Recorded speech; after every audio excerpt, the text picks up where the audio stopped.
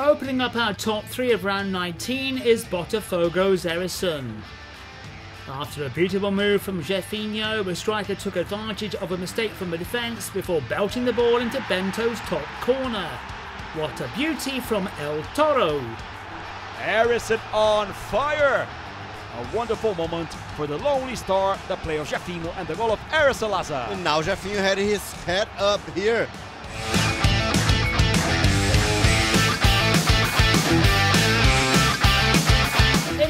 Place, we have the Colorado hitman Alemão. The striker wasn't able to salvage a point for Inter, but he crowned a good performance with this stunner.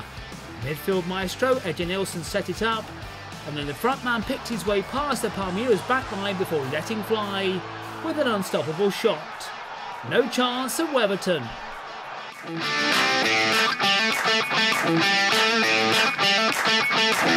But the best goal award of the round just had to go to Keno. And what a magnificent shot it was. The Galo's magician was at his very best when he hit the screamer against Corinthians. A wonderful goal from the number 11 in the stunning Estadio Mineirão. Keno scored a really, really, really nice goal for Atlético Mineiro.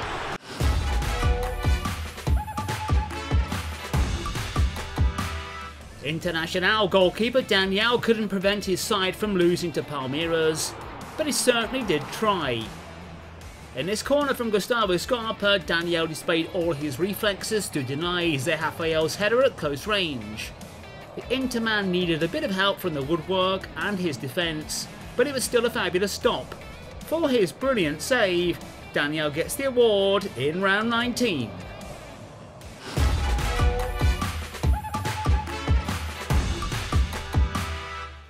Best skill award in this round was an easy choice as we went for San Paolo's Nikão. But the player produced two bits of ability and we'll leave it up to you to decide which one was better. First, he was calm and collected as he left Felipe Bastos dumbfounded. Then, a delicate touch to lob Pedro Junquera and move into space. Congrats on the cheeky moves, Nikão.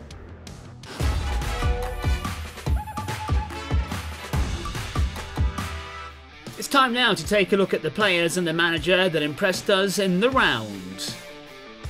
In goal, we've gone for Matheus Cavichioli of America Mineiro. Our right back this week is Fagner of Corinthians. The two central defenders are Gustavo Gómez, Palmeiras, Eder of America Mineiro. At left back, Fabio Santos, Corinthians. Our three-man midfield, Gabriel Menino Palmeiras, Pablo Maia Sao Paulo, Arrascaeta Flamengo. On the right wing, Jhon Arias Fluminense. On the left, Jeffinho Botafogo. And our solitary striker is Flamengo's Pedro. Our man on the bench is Vítor Pereira from Corinthians.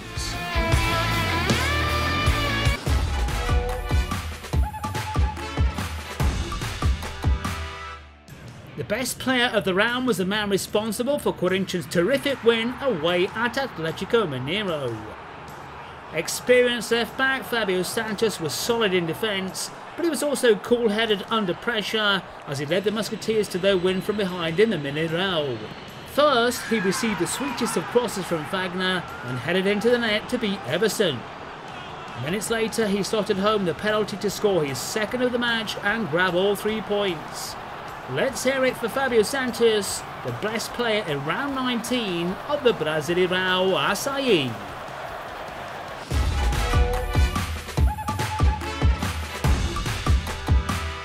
At the halfway point of the Brasileirão, Palmeiras maintain their lead at the top of the table and have a four-point cushion over arch Corinthians. Surprise package Fluminense are now in third. Defending champions Atletico Mineiro dropped a place down into fourth. Atletico Paranaense and Flamengo are coming up from behind. Down in the wrong half of the table, it's so very very tight. Both Coritiba and Goiás are on 22.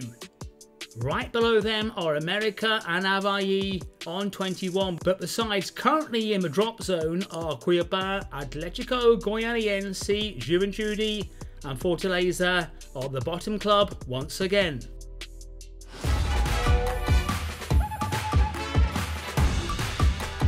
Round 20 of the Brasileirão Açaí kicks off on Saturday as we go into the return matches. Up first are leaders Palmeiras as they travel to the northeast and a game against Ceará. There's also Goiás and Coritiba. Title contenders Corinthians against Botafogo and Giants Flamengo take on strugglers Atletico Goianiense. On Sunday, the big ties are Internacional as they come up against Atletico Mineiro in Porto Alegre and Sao Paulo away at an inform Atletico Paranaense. Later in the day, America Mineiro Avaí, Cuiabá Fortaleza, and Red Bull against Juventude. Santos and Fluminense will wrap up the round on Monday in the Vila Belmiro. That's it for another week. We hope you're enjoying our coverage of the toughest and most exciting league in the Americas, and we will be back in the next round with more action from the Brasileirão Açaí.